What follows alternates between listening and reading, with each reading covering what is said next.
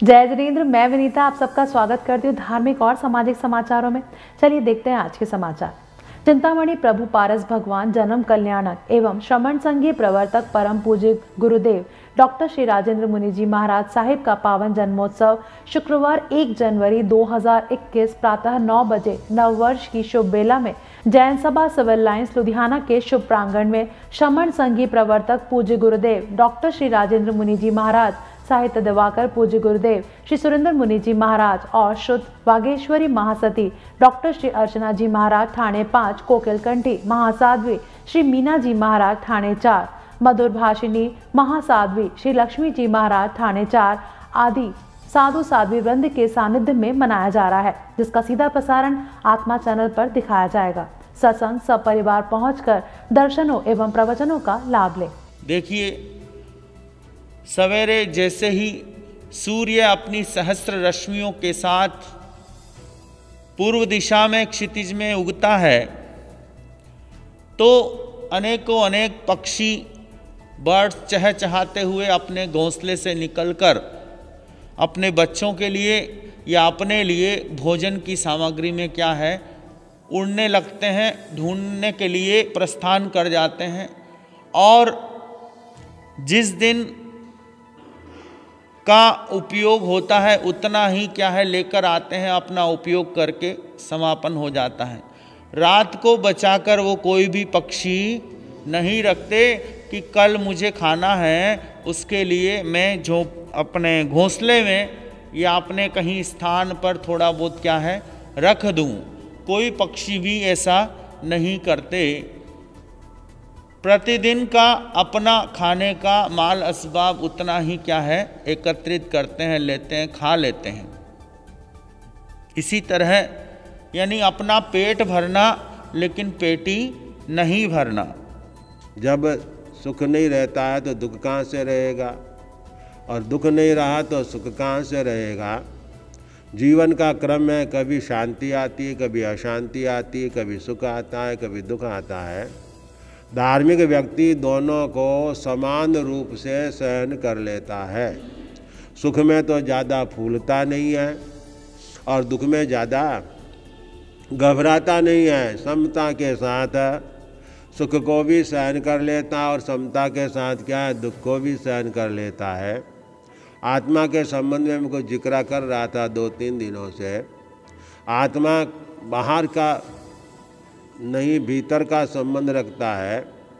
बाहर से तो शरीर और इंद्रिया नज़र आती है, लेकिन शरीर और इंद्रिया जिसके कारण से चल रही है, उसके पीछे आत्मा का क्या है, बहुत गहरा संबंध रहा है। यहाँ तक कि जब तक यह आत्मा का तत्व हमारे साथ जुड़ा हुआ है, तभी तक यह इंद्रियाँ, शरीर, मन, वचन, काया, सारी चीज़ें क्या है अपने अपने ढंग से वर्क कर रही है, काम कर रही है। और जिस दिन यह चैतन्य गुण अलग थलग हो जाता है या समाप्त हो जाता है शरीर से है उसके बाद ये चीज़ें क्या है, कोई महत्व नहीं रखती है। गुरुजी महाराज कहा करते थे कि आप में जब तक जब तक आप है, तब तक आपकी कीमत है, आप यानी आत्मा। और आपका मतलब सामने वाले को जो बोलते हैं हम, कि आप में जब तक आप है, यानी आप में जब तक क्या है, आत्मा है आप में जब तक आप हैं, तब तक आपकी क्या है, कीमत है। और जिस दिन आप में से आप निकल जाए, उस दिन आपकी क्या है, कोई कीमत नहीं रहती है। तो आत्मा के कारण से हमारा सारा यह संसार हमें अपना नज़र आता है। बस इसके ऊपर जो व्यवधान है या इसके ऊपर जो आवरण है, उसको दूर करने के लिए धर्म हमें नाना भांति के तब जब साधना के क्रम बतलाता है धर्म, लुधियाना से कैमरामैन विकास के साथ राजेश मेहरा की रिपोर्ट। दिल्ली में चल रहे किसान आंदोलन अब जन आंदोलन बनता जा रहा है। हर वर्ग इस आंदोलन में बढ़ चढ़कर सहयोग देता दिखाई दे रहा है, ताकि किसानों का हौसला न टूटे और वह दिल्ली फतह करके ही वापस आए। इसी के चलते बटाला के गुरुद्वारा अर्बन स्टेट से सुबह छह बजे एक जत्था बस में सवार होकर दिल्ली संघर्ष के लिए रवाना हुआ। इस जत्थे में नौजवान और बुज़ुर्गों के साथ साथ भारी तादाद में महिलाएँ भी शामिल थी। हमारी टीम ने इस जत्थे के लोगों समेत महिलाओं से बात की तो उनका कहना था कि किसान भाई पिछले एक महीने से दिल्ली में कृषि कानून जैसे काले कानूनों को लेकर केंद्र सरकार के खिलाफ भारी सर्दी में सड़कों पर ही आंदोलन पर बैठे हैं। लेकिन केंद्र सरकार कोई सुनवाई नहीं कर रही। और किसान भाइयों के इस आंदोलन में हम भी किसान का साथ देने जा रहे हैं। और अपने साथ किसानों के लिए देसी घी से बनाई गई 600 किलो अलसी की पिन्निया, गद्दे, बूट, जुराबे, पानी की पेटियाँ और खाने का सामान लेकर जा रहे हैं ताकि वहाँ चल रहे लंगरों में सहयोग दे सके और किसानों का हौसला बना रहे और इस आंदोलन में किसी प्रकार की कोई कमी ना आ सके। ਅਸੀਂ ਸਾਰੀ ਸੰਗਤ ਕਿਸਾਨਾਂ ਦਾ ਹੌਸਲਾ ਵਧਾਉਣ ਲਈ ਦਿੱਲੀ ਬਾਰਡਰ ਤੇ ਜਾ ਰਹੇ ਹਾਂ।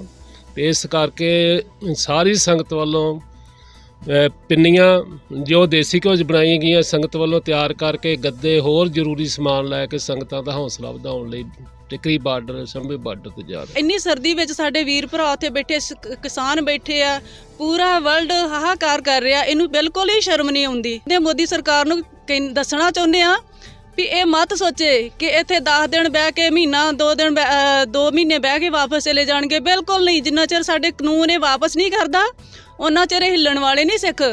ਕੋਈ ਵੀ ਸਾਰੇ ਕਿਸਾਨ ਇੱਕ ਨੇ, ਸਾਰੀ ਦੁਨੀਆ ਇੱਕ ਆ, ਇੱਕ ਮੋਦੀ ਕੱਲਾ, ਵੱਖਰਾ ਇੱਕ ਆ, ਛੜਾ। ਅਸੀਂ ਸਾਰੇ ਕਿਸਾਨਾਂ ਦੇ ਨਾਲ ਆ, ਜੋ ਵੀ ਉਹਨਾਂ ਨੂੰ ਚੀਜ਼ ਚਾਹੀਦੀ ਆ, ਅਸੀਂ ਮੰਗਰੋਂ ਪਹੁੰਚਾਵਾਂਗੇ ਉਹਨਾਂ ਨੂੰ। ਇੱਕ ਮਹੀਨਾ 4 ਦਿਨ ਹੋ ਗਏ ਉੱਥੇ ਸੰਘਰਸ਼ ਕਰਦੇ ਆ, ਜਿਹੜੇ ਮੋਦੀ ਸਰਕਾਰ ਨੇ ਤਿੰਨ ਕਾਲੇ ਕਾਨੂੰਨ ਜਿਹੜੇ ਆ, ਸਾਡੇ ਕਿਸਾਨੀ ਵਾਸਤੇ ਲਿਆਂਦੇ ਆ, ਉਹਨੂੰ ਰੱਦ ਕਰਾਉਣ ਵਾਸਤੇ ਜਿਹੜਾ ਸੰਘਰਸ਼ ਕਰ ਰਹੀ ਆ ਸਾਡੀ ਸਿੱਖ, ਮੁੱਚੀ ਸਿੱਖ ਕੌਮ ਜਿੰਨੀਆਂ ਕਿਸਾਨ ਜਥੇਬੰਦੀਆਂ ਸਾਡੀ। ਮੇਰੇ ਸਤਿਕਾਰਯੋਗ ਵੀਰਾਂ ਨੇ ਖਾਲਸਾਇਡ ਵਾਸਤੇ ਬੂਟ, ਜਰਾਬਾਂ ਇਹ ਭੇਜੀਆਂ। ਪਾਣੀ ਉਹਨਾਂ ਨੇ ਕਿਹਾ ਸੀ ਵੀ ਦਿੱਲੀ ਦਾ ਪਾਣੀ ਥੋੜੀ ਜੀ ਪ੍ਰੋਬਲਮ ਆ ਰਹੀ ਆ ਤੇ ਸਾਨੂੰ ਪਾਣੀ ਵੀ ਜਿਹੜਾ ਇੱਥੋਂ ਜਿਹੜਾ ਪਾਣੀ ਭੇਜੋ, ਉਹ ਅਸੀਂ ਪਾਣੀ ਵੀ ਲਿਆ ਉਹਨਾਂ ਵਾਸਤੇ। ਗੁਰਦਾਸਪੁਰ ਸਤਿੰਦਰ ਕੁੰਡਲ ਦੀ ਰਿਪੋਰਟ। लुधियाना में कोरोना वायरस वैक्सीन को लगाने के लिए 28 और 29 दिसंबर को ड्राई रन की शुरुआत आज ज़िले के सात सेंटर्स में की जाएगी, जिसमें civil hospital, Ludhiana DMC hospital, civil hospital Raikot Jagraon Machhiwara, Khanna, Payal के सिविल हॉस्पिटल में सेंटर स्थापित किए गए हैं। आपको बता दें कि रोजा ड्राई रन का उद्देश्य सेहत प्रणाली में कोविड 19 वैक्सीनेशन के लिए की गई तैयारी की जाँच करना है। लुधियाना के डीसी वरिंदर शर्मा ने इसकी जानकारी देते हुए बताया कि वैक्सीनेशन पहले तीस हज़ार सेहत विभाग मुलाजिमों को और फिर आंगनबाड़ी मुलाजिमों के बाद फ्रंट लाइन पर काम करने वाले पुलिस मुलाजिमों व 50 साल से अधिक उम्र के बुज़ुर्गों को दी जाएगी, जिसको वैक्सीन दी जाएगी, उसे ऑनलाइन रजिस्ट्रेशन करवानी होगी। वैक्सीन एक्चुअली कोई नहीं आई, अजय तक नहीं आई हैगी। ये सिर्फ़ एक रिहर्सल कह लो 3 ਡੇਜ਼ ਪ੍ਰੋਗਰਾਮ ਸੀ, ਜਿਹਦੇ ਵਿੱਚ ਅੱਜ ਫਾਈਨਲ ਸੀ, ਜਿਹਦੇ ਵਿੱਚ ਕਿ ਅਸੀਂ ਬੈਨੀਫੀਸ਼ੀਅਰੀਜ਼ ਨੂੰ ਐਸਐਮਐਸ ਭੇਜ ਕੇ ਬੁਲਾਇਆ ਔਰ ਉਹ ਆਏ ਹੈਗੇ ਔਰ ਪੂਰਾ ਰਿਹਰਸਲ ਟਾਈਪ ਕੀਤਾ। ਠੀਕ ਹੈ ਨਾ? ਤਾਂ ਕਿ ਸਾਨੂੰ ਕੋਈ ਪ੍ਰੋਬਲਮਸ ਆ ਰਹੀਆਂ ਹੈ, ਕਿੰਨੇ ਟਾਈਮ 'ਚ ਅਸੀਂ ਉਹਨੂੰ ਡਿਲੀਵਰ ਕਰ ਸਕਦੇ ਹਾਂ, ਕਿੰਨੇ ਪੇਸ਼ੈਂਟਸ ਨੂੰ ਅਟੈਂਡ ਕਰ ਸਕਦੇ ਹਾਂ, ਇਹ ਸਾਰਾ ਕੁਝ ਸਾਨੂੰ ਪਤਾ ਚੱਲ ਜਾਏਗਾ ਔਰ ਇੱਕ ਤਰ੍ਹਾਂ ਰਿਹਰਸਲ ਹੋ ਗਿਆ। ਮਾਨਯੋਗ ਮੁੱਖ ਮੰਤਰੀ ਸਾਹਿਬ ਦੇ ਦਿਸ਼ਾ ਨਿਰਦੇਸ਼ਾਂ ਤਹਿਤ ਜਿਹੜਾ ਡਰਾਈ ਰਨ ਹੈ, ਉਹ ਸਕਸੈਸਫੁਲੀ ਸ਼ੁਰੂ ਕਰ ਲਿਆ। ਇਹ 'ਚ ਜਿਵੇਂ ਕਿ ਮੈਂ ਕੱਲ ਵੀ ਦੱਸਿਆ ਸੀਗਾ, ਸੱਤ ਲੋਕੇਸ਼ਨਸ ਨੇ। ਹਰ ਇੱਕ ਲੋਕੇਸ਼ਨ ਤੇ 25 ਜਿਹੜੇ ਹੈਗੇ ਆ ਸਾਡੇ ਡਮੀ ਉਹ ਲੋਕ ਆਣੇ ਨੇ ਜਿਨ੍ਹਾਂ ਨੂੰ ਕਿ ਵੈਕਸੀਨੇਸ਼ਨ ਕੀਤੀ ਜਾਣੀ ਹੈ ਹਰ ਥਾਂ ਤੇ ਜਿਹੜੇ ਮੈਡੀਕਲ ਆਫੀਸਰਸ ਨੇ, ਪੁਲਿਸ ਆਫੀਸਰਸ ਨੇ, ਸਾਰੇ ਵੈਲ ਟ੍ਰੇਨ ਕਰ ਦਿੱਤੇ ਗਏ ਨੇ। ਇਸ 'ਚ ਸਾਡੇ ਐਡਮਿਨਿਸਟ੍ਰੇਟਿਵ ਆਫੀਸਰਸ ਔਰ ਸਿਵਲ ਸਰਜਨ ਸਾਹਿਬ ਦੀ ਟੀਮ ਨੇ ਇਹਨਾਂ ਨੇ ਮਿਲ ਕੇ ਕਾਫੀ ਅੱਛੀ ਮਿਹਨਤ ਕੀਤੀ ਹੈ। ਇਸ ਤੋਂ ਇਲਾਵਾ ਪ੍ਰਾਈਵੇਟ ਸੈਕਟਰ ਨੂੰ ਵੀ ਅਸੀਂ ਵਿੱਚ ਇਨਵੋਲਵ ਕੀਤਾ। ਹੈ ਇੱਕ ਥਾਂ ਤੇ ਡੀਐਮਸੀਐਚ ਹਸਪੀਟਲ ਹੈ ਜਿਹੜਾ, ਉਹਦੇ ਵਿੱਚ ਵੀ ਜਿਹੜਾ ਹੈਗਾ ਅੱਜ ਟ੍ਰਾਇਲ ਰਨ ਕੀਤਾ ਜਾ ਰਿਹਾ dry run to be precise ਔਰ ਹੁਣ ਤੱਕ 29600 ਦੇ ਕਰੀਬ ਜਿਹੜੇ ਪੈਰਾਮੈਡਿਕਸ ਡਾਕਟਰਸ ਔਰ ਇਹਨਾਂ ਨਾਲ ਜਿਹੜਾ ਜੁੜਿਆ ਸਟਾਫ ਹੈ, ਉਹ ਰਜਿਸਟਰ ਕਰਾ ਚੁੱਕਿਆ ਆਨਲਾਈਨ ਜਿਸ ਚੋਂ ਕਿ ਲਗਭਗ 6500 ਜਿਹੜੇ ਗਵਰਨਮੈਂਟ ਸੈਕਟਰ ਦੇ ਮੈਡੀਕਲ ਪਰਸਨਲ ਹੈਗੇ ਨੇ ਔਰ 23000 ਪ੍ਰਾਈਵੇਟ ਸੈਕਟਰ ਦੇ ਨੇ। ਸਭ ਤੋਂ ਪਹਿਲੇ ਫੇਜ਼ ਦੇ ਦੌਰਾਨ ਅੱਜ ਦਾ ਕਿਉਂਕਿ ਇਹ ਫਲॉलेस ਰਿਹਾ ਹੈਗਾ ਇਸ ਨੂੰ ਦੇਖਦੇ ਹੋਏ ਸਾਡੀ ਤਿਆਰੀ ਪੂਰੀ ਹੈ। ਜਦੋਂ ਵੀ ਐਕਚੁਅਲ ਲਾਈਵ ਵੈਕਸੀਨ ਸਾਡੇ ਕੋਲ ਆ ਜਾਂਦੀ ਹੈਗੀ ਹੈ ਅਸੀਂ ਤੁਰੰਤ ਜਿਹੜਾ ਹੈਗਾ ਇਹ ਕੰਮ ਸ਼ੁਰੂ ਕਰ ਦਾਂਗੇ। ਬਟ ਉਦੋਂ ਮੋਰ ਨੰਬਰ ਆਫ ਲੋਕੇਸ਼ਨਸ ਤੇ ਹੋਏਗਾ। 805 ਅ, ਜਿਹੜੇ ਪੁਆਇੰਟਸ ਹੈਗੇ ਨੇ ਸੈਸ਼ਨ ਪੁਆਇੰਟਸ ਉਹ ਅਸੀਂ ਪਹਿਲਾਂ ਹੀ ਲੱਭੇ ਹੋਏ ਨੇ।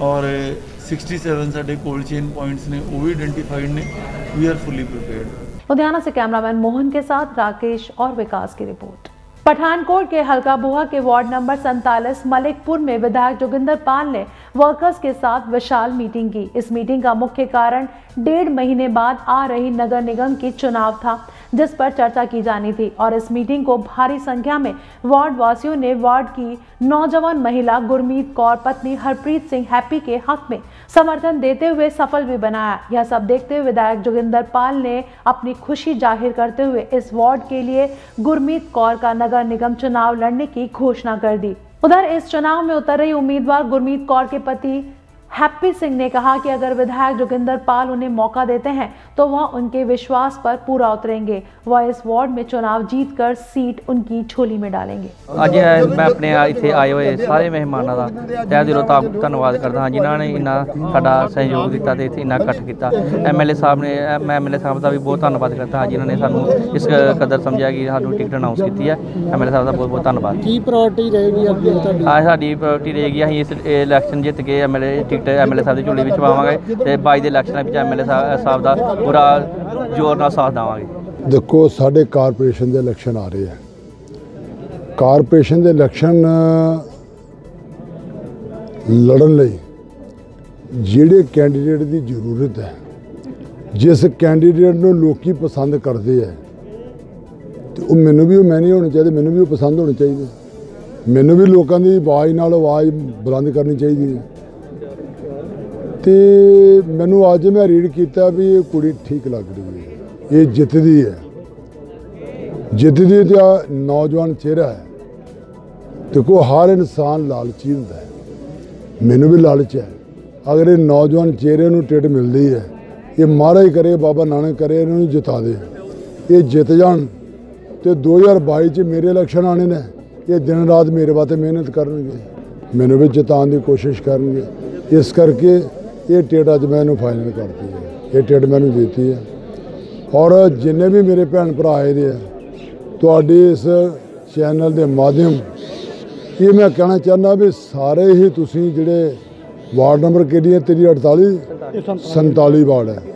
ਇਸ ਵਾਰਡ ਦੇ ਜਿੰਨੇ ਵੀ ਨਿਵਾਸੀ ਨੇ, ਸਾਰੇ ਤਗੜੇ ਹੋ ਕੇ ਇਹ ਗੁਰਮੀਤ ਕੌਰ ਗੁਰਮੀਤ ਕੌਰ ਨਾ, ਗੁਰਮੀਤ ਕੌਰ ਕੁੜੀ ਨੂੰ ਜਿਤਾਓ, ਮੇਰੀ ਵੀ ਸ਼ਾਨ ਬਣਾਓ ਮੇਰੀ ਪਾਰਟੀ ਦੀ ਸ਼ਾਨ ਵੀ ਬਣਾਓ ਔਰ ਆਪਣੇ ਪਿੰਡ ਦੀ ਸ਼ਾਨ ਵੀ ਬਣਾਓ। ਇਹ ਜੋ ਜੋ ਮੈਨੂੰ ਕਹਿਣਗੇ ਮੈਂ ਕਰਨ ਨੂੰ ਤਿਆਰ। ਇਹਨੇ ਮੈਨੂੰ ਕਿਹਾ ਹੈ ਵੀ 50 ਕੁ ਰਾਸ਼ਨ ਕਾਰਡ ਮੈਨੂੰ ਚਾਹੀਦੇ ਆ। ਮੈਂ ਬੇਟਾ ਤੂੰ 70 ਲੈ ਜਾ। ਇਹਨੇ ਮੈਂ 70 ਦੇਤੇ ਆ। ਇਹ ਮੈਂ ਅਗਲੇ ਹਫ਼ਤੇ 70 ਦੇ 70 ਇੱਥੇ ਆ ਕੇ ਵੰਡ ਦੇਣੇ ਆ ਰਾਸ਼ਨ ਕਾਰਡ। ਉਹ ਜਿਹੜਾ ਜਿਹੜਾ ਕੰਮ ਕਰਨਗੇ ਮੈਂ ਕਰਨ ਨੂੰ ਤਿਆਰ ਹਾਂ ਤੁਹਾਡੇ ਹਲਕੇ ਦੇ ਵਿੱਚ ਪੰਜ ਵਾਰਡ ਪੈਂਦੇ ਆ। ਕਿ ਬਾਕੀ ਵੀ ਕੈਂਡੀਡੇਟ ਅਨਾਉਂਸ ਕਰ ਦਿੱਤੇ ਜਾਂ ਕਰ ਇਸੇ ਤਰ੍ਹਾਂ ਹੀ ਮੈਂ ਪ੍ਰਦਰਸ਼ਨ ਦੇਖਦਾ ਪਿਆ ਵੀ ਜਿਹਦਾ ਜਿਹਦਾ ਸ਼ਕਤੀ ਪ੍ਰਦਰਸ਼ਨ ਅੱਛਾ ਲੱਗ ਰਿਹਾ ਹੈ। ਉਹ ਦੇਖੋ ਨਾ, ਸਾਰੀ ਕਮਿਊਨਿਟੀ ਦੇ ਇੱਥੇ ਲੋਕੀ ਇਕੱਠੇ ਹੋਏ ਦੇ ਆ। ਗੁੱਜਰ ਬਰਾਰੀ ਵੀ ਹੋਈ ਦੀ ਹੈ, ਸਿੱਖ ਬਰਾਰੀ ਵੀ ਹੋਈ ਦੀ ਹੈ, ਹਿੰਦੂ ਬਰਾਰੀ ਵੀ ਹੋਈ ਦੀ ਹੈ। ਥੱਲੇ ਜਿਹੜੇ ਵਿਚਾਰੇ ਸ਼ਡਿਊਲ ਕਾਸਟ ਹੋ ਲੋਕੀ ਉਹ ਵੀ ਇਕੱਠੇ ਹੋਏ ਦੇ ਆ ਲੇਡੀਜ਼ ਵੀ ਆਈ ਦੀਆਂ ਨੇ। ਤੇ ਮੈਨੂੰ ਲੱਗਦਾ ਵੀ ਇਹ ਫਾਈਨਲ ਇਹ ਇਹ ਫਾਈਨਲ ਮੇਰਾ ਡਿਸੀਜਨ ਇਹਦੇ ਤੇ ਫਾਈਨਲ ਹੈ। ਪਠਾਨਕੋਟ ਸੇ ਆਲੋਕ ਕੁਮਾਰ ਕੀ ਰਿਪੋਰਟ लुधियाना नगर निगम प्रशासन ने नए वर्ष में बुढ़ा दरिया को कचरा मुक्त बनाने का लक्ष्य रखा है।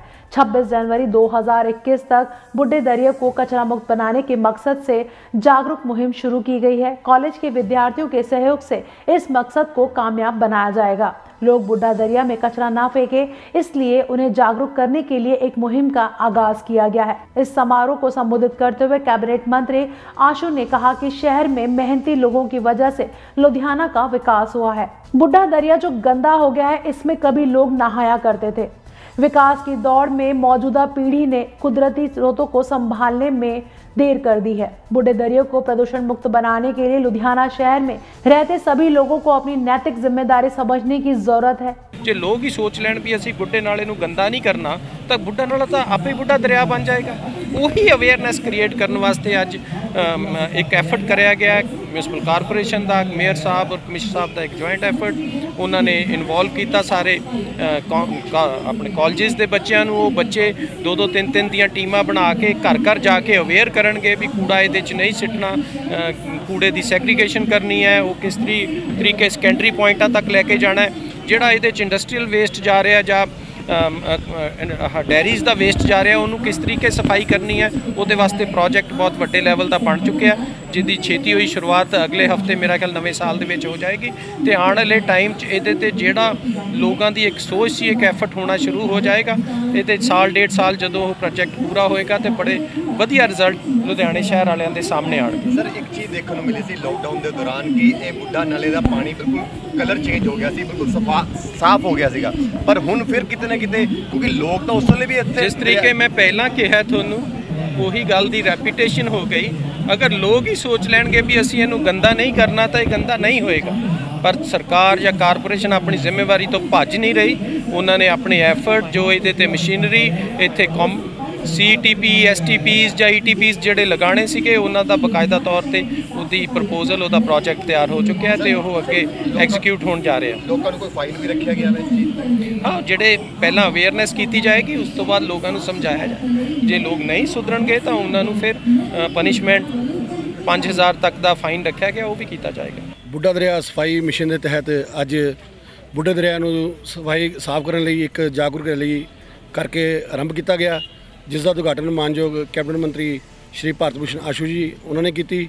ਇਸ ਤੋਂ ਇਲਾਵਾ Shri Balkar Singh Sandhu, mayor commission mayor ਨਗਰ ਲੁਧਿਆਣਾ ਅਤੇ ਮਾਨਯੋਗ ਪ੍ਰਦੀਪ ਸੱਭਰਵਾਲ ਜੀ ਆਈਐਸ ਕਮਿਸ਼ਨਰ ਨਗਰ ਲੁਧਿਆਣਾ ਜੀ ਦੇ ਦਿਸ਼ਾ ਨਿਰਦੇਸ਼ਾਂ ਤੇ ਜੋ ਇਹ ਓਨਮ ਸੈਲ ਦੀ ਵਿੰਗ ਅਤੇ ਹੈਲਥ ਬ੍ਰਾਂਚ ਦਾ ਜਿਹੜਾ ਵਿੰਗ ਹੈ, ਉਹ ਸਾਂਝੇ ਤੌਰ ਤੇ ਅੱਜ ਉਹਨਾਂ ਨੇ ਇਸ ਦਾ ਆਗਾਜ਼ ਕੀਤਾ ਹੈ।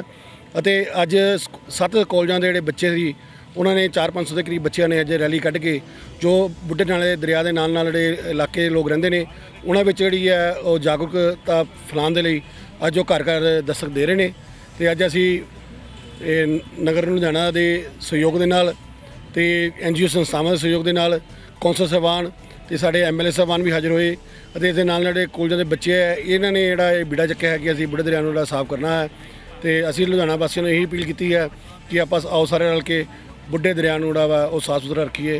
धनबाद लुधियाना से कैमरामैन जसविंदर के साथ राजेश मेहरा की रिपोर्ट। कांग्रेस पार्टी का 136वां स्थापना दिवस स्थानीय कांग्रेसी भवन में मनाया गया। जिला कांग्रेस कमेटी के शहरी प्रधान अश्विनी शर्मा तथा देहाती प्रधान सोनी गालिब की अगुवाई में पार्टी कार्यकर्ताओं ने झंडा फहराया तथा लड्डू बांट कर एक दूसरे को बधाई दी।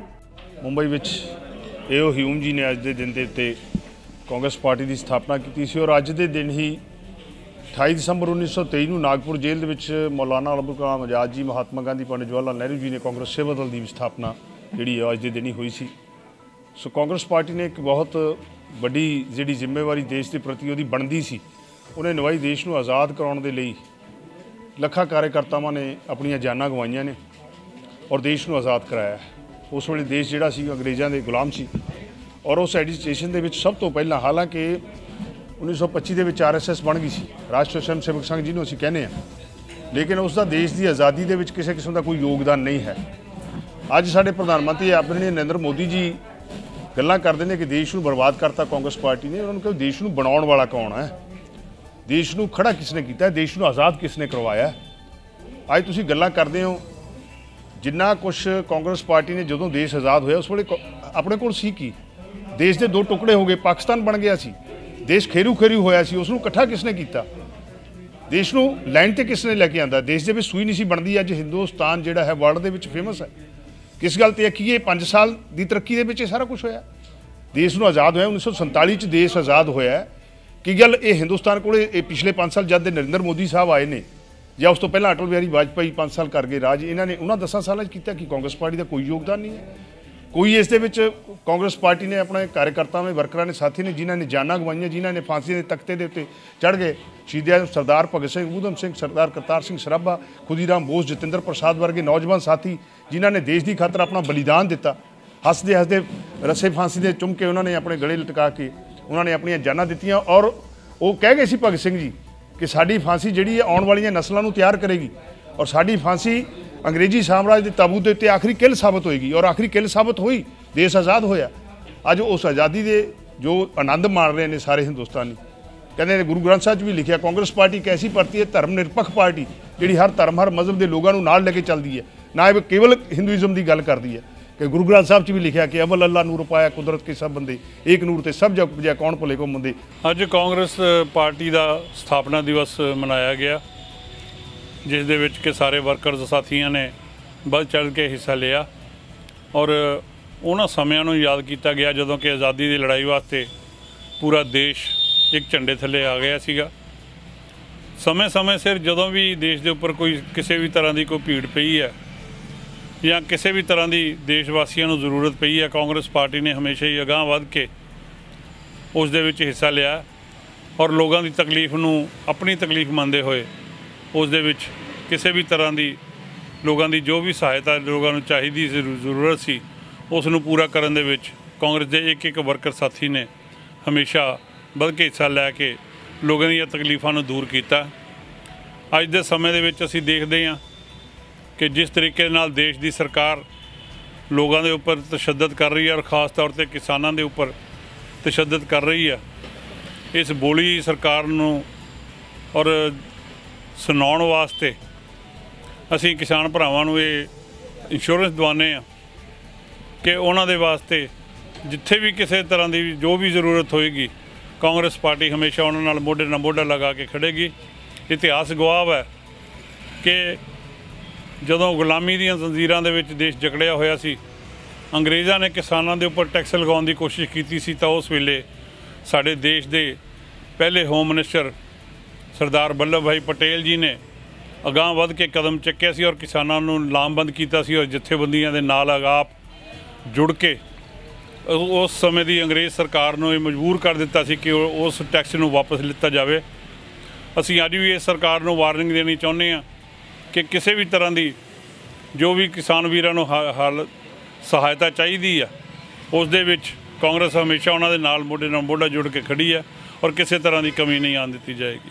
कैमरामैन जसवंदर के साथ राजेश मेहरा की रिपोर्ट वाहेगुरु सेवा सोसाइटी की तरफ से छहवा सेवा यज्ञ लगाया गया जिसमें 35 जरूरतमंद परिवारों को राशन दिया गया कोविड 19 के नियमों के तहत मास्क पहनकर और एक मीटर दूरी बनाए रखें इसका भी खासा ख्याल रखा गया ਗੁਰੂ ਨਾਨਕ ਦੇਵ ਜੀ ਮਹਾਰਾਜ ਜੀਆਂ ਨੇ ਮਨੁੱਖਤਾ ਨੂੰ ਇੱਕ ਨਾਰਾ ਦਿੱਤਾ ਸੀ ਕਿਰਤ ਕਰੋ ਨਾਮ ਜਪੋ ਤੇ ਵੰਡ ਕੇ ਛਕੋ ਵਾਹਿਗੁਰੂ ਸੇਵਾ ਸੁਸਾਇਟੀ ਇਹਨਾਂ ਪਦ ਚਿੰਨ੍ਹਾਂ ਤੇ ਚੱਲਦੀ ਹੋਈ ਲੋੜਵੰਦ ਪਰਿਵਾਰਾਂ ਨੂੰ ਰਾਸ਼ਨ ਦੇ ਰੂਪ ਦੇ ਵਿੱਚ ਮਦਦ ਕਰ ਰਹੀ ਆ।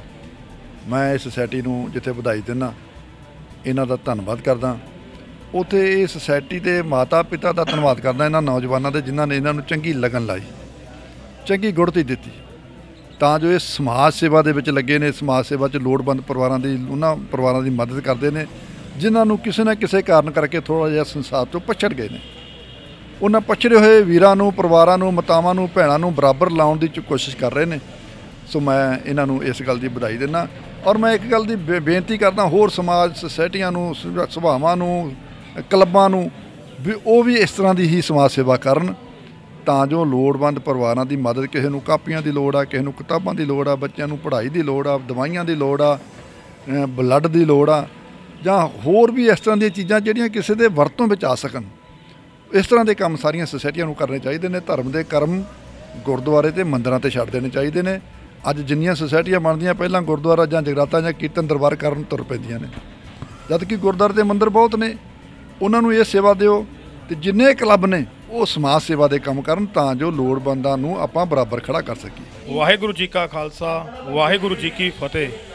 ਅੱਜ ਵਾਹਿਗੁਰੂ ਸੇਵਾ ਸੁਸਾਇਟੀ ਵੱਲੋਂ 6ਵਾਂ ਰਾਸ਼ਨ ਵਿਤਰਨ ਸਮਾਗਮ ਕੀਤਾ ਗਿਆ, ਜਿਸ ਵਿੱਚ ਮੇਰੇ ਭਰਾ ਨਰੇਸ਼ ਜੈਨ ਡੁੱਗਰ ਜੀ ਨੇ, ਵਿਸ਼ਾਲ ਸ਼ਾਸਤਰੀ ਜੀ ਨੇ, ਦਿਨੇਸ਼ ਜੀ ਨੇ, ਆਸ਼ੂ ਜੀ ਨੇ, ਰਾਧੂ ਗੰਭੀਰ ਜੀ ਨੇ, ਰਾਮਾ ਜੀ ਨੇ, ਰਜੇਸ਼ ਕਪਿਲ ਜੀ ਨੇ ਤੇ ਗਗਨਦੀਪ ਸਿੰਘ ਨੇ, ਗਿੰਨੀ ਟੱਕਰ ਸ- ਨਿਤਿਨ ਸਚਦੇਵਾ, ਹੋਰ ਵੀ ਮੇਰੇ ਬਥੇਰੇ ਇਸ ਟੀਮ ਦੇ ਮੈਂਬਰ ਨੇ, ਮੇਰੇ ਭਰਾ ਨੇ, ਜਿਹੜੇ ਮੇਰੇ ਨਾਲ ਮੋਢੇ ਨਾਲ ਮੋਢਾ ਲਾ ਕੇ ਚੱਲ ਰਹੇ ਆ, ਸ਼ੁਰੂ ਤੋਂ ਹੁਣ ਤੱਕ ਇੱਕ ਪਿੱਲਰ ਦੀ ਤਰ੍ਹਾਂ ਮੇਰੇ ਨਾਲ ਖੜੇ ਹਨ, ਜੋ ਕਿ ਇਸ ਸੰਸਥਾ ਨੂੰ ਬਹੁਤ ਹੀ ਵਧੀਆ ਢੰਗ ਨਾਲ ਚਲਾ ਰਹੇ ਹਨ।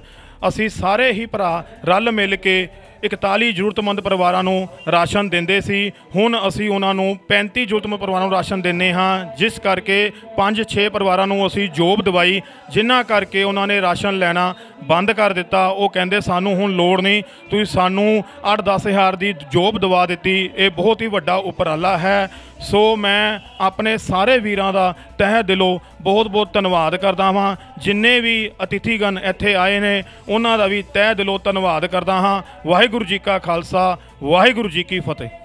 ਅੱਜ ਸ਼੍ਰੀ ਵਾਹਿਗੁਰੂ ਸੇਵਾ ਸੁਸਾਇਟੀ ਵੱਲੋਂ 6ਵਾਂ ਰਾਸ਼ਨ ਵਿਤਰਨ ਸਮਾਰੋਹ ਕੀਤਾ ਜਾ ਰਿਹਾ ਹੈ। ਮੈਂ ਸਾਰੇ ਆਪਣੇ ਸੇਵਾਦਾਰਾਂ ਸਰਦਾਰ ਸ਼੍ਰੀ ਰਮਨਦੀਪ ਸਿੰਘ, ਪੰਡਿਤ ਸ਼੍ਰੀ ਵਿਸ਼ਾਲ ਕ੍ਰਿਸ਼ਨ ਸ਼ਾਸਤਰੀ ਜੀ ਦਾ ਔਰ ਸਾਰੇ ਸਮਸਤ ਸਦੱਸਿਆਂ ਦਾ ਬਹੁਤ ਬਹੁਤ ਧੰਨਵਾਦ ਕਰਦਾ ਹਾਂ ਔਰ ਸਾਰੇ ਅਤਿਥੀਗਣਾਂ ਦਾ ਬਹੁਤ ਬਹੁਤ ਧੰਨਵਾਦ ਕਰਦਾ ਜਿਹੜੇ ਆਸ਼ੀਰਵਾਦ ਦੇਣ ਸਾਨੂੰ ਇੱਥੇ ਪਹੁੰਚੇ ਨੇ। ਦੋਸਤੋ, ਸਾਡੇ ਗੁਰੂ ਮਹਾਰਾਜ ਨੇ, ਸਾਡੇ ਪ੍ਰਭੂ ਨੇ ਜੋ ਸਿੱਖਿਆ ਸਾਨੂੰ ਕਿਤਾਬਾਂ 'ਚ ਦਿੱਤੀ, ਸਮੂਹਿਕ ਰੂਪ 'ਚ ਦਿੱਤੀ, ਵੀ ਮਾਨਵਤਾ ਦੀ ਸੇਵਾ, ਇਨਸਾਨੀਅਤ ਦੀ ਸੇਵਾ ਸਭ ਨੂੰ ਸਾਨੂੰ ਕਰਨੀ ਚਾਹੀਦੀ ਹੈ। ਅਸੀਂ ਇਸੀ ਇਨਸਾਨੀਅਤ ਦੇ ਧਰਮ ਨੂੰ ਅੱਗੇ ਲੈ ਕੇ ਚੱਲਦੇ ਹੋਏ ਇਸ ਕਾਰਜ ਨੂੰ ਕਰ ਰਹੇ ਹਾਂ। ਪਿਛਲੇ ਦਿਨੋਂ ਅਸੀਂ ਵਾਹਿਗੁਰੂ ਸੇਵਾ ਸੁਸਾਇਟੀ ਸ਼੍ਰੀ ਬਾਲਾ ਜੀ ਸੇਵਾ ਸੰਘ ਵੱਲੋਂ ਇੱਕ ਵਿਸ਼ਾਲ ਭਵਯ ਚੌਂਕੀ ਬਾਲਾ ਜੀ ਦਾ ਆਯੋਜਨ ਬਾਲਾ ਜੀ ਦੀ ਭਵਯ ਚੌਂਕੀ ਦਾ ਆਯੋਜਨ ਕੀਤਾ ਸੀ। ਅਸੀਂ ਪ੍ਰਭੂ ਅੱਗੇ ਇਹੀ ਅਰਦਾਸ ਕਰਦੇ ਹਾਂ ਵੀ ਪਰਮਾਤਮਾ ਸਾਨੂੰ ਐਸੇ ਹੀ ਕਾਰਿਆਂ ਦੇ ਵਿੱਚ ਅੱਗੇ ਲੈ ਕੇ ਆਂਦੇ ਰਹਿਣ ਔਰ ਆਉਣ ਵਾਲੇ ਸਮੇਂ 'ਚ ਵਾਹਿਗੁਰੂ ਸੇਵਾ ਸੁਸਾਇਟੀ ਵੱਲੋਂ ਜ਼ਰੂਰਤਮੰਦ ਬੱਚਿਆਂ ਦੀ ਸਿੱਖਿਆ ਦਾ ਔਰ ਰਕਤਦਾਨ ਕੈਂਪ ਜਾਂ ਹੋਰ ਮੈਡੀਕਲ ਕੈਂਪ ਐਸੇ ਆਯੋਜਨ ਕਰਨ ਦਾ ਵੀ ਅਸੀਂ ਉਪਰਾਲਾ ਕਰਨ ਜਾ ਰਹੇ ਹਾਂ।